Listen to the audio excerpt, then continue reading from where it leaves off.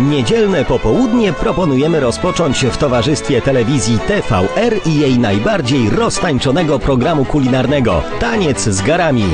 W jutrzejszym odcinku Piotr Galiński zgłębi tajniki przyrządzania różnych znakomitości z koziego mięsa i sera. Tym razem jednak to nie prowadzący zagra pierwsze skrzypce w kulinarnej orkiestrze smaków. Zrobi to pewna pani. Mimo, że będziemy na Mazurach, to dowiemy się, co najlepiej robią w Tajlandii. Taniec z garami. Niedziela o 13.15 w telewizji TVR.